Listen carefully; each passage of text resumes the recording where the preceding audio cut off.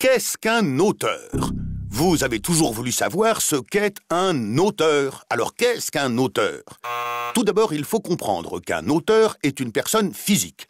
En conséquence, il ne peut s'agir ni d'une coccinelle, ni d'un simple cerveau sans rien autour, ni même encore plein de cerveaux regroupés sous un même nom.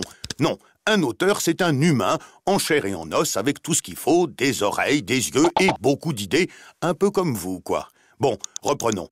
Un auteur est donc une personne physique qui, en plus, et c'est indispensable, fait une création de forme originale. Retenez bien ces trois mots magiques.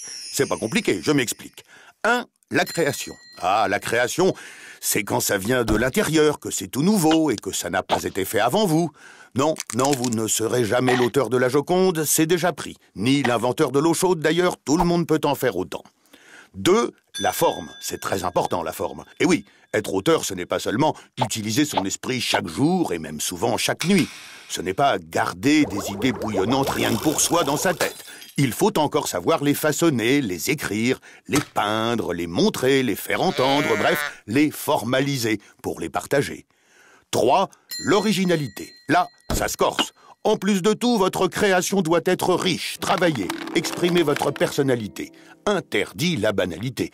Pas question de juste recopier le voisin, hein 4. Eh bien, il n'y a pas de 4.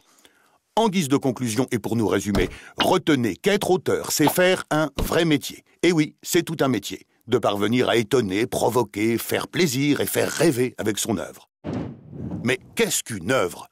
Ah ça, c'est une autre question.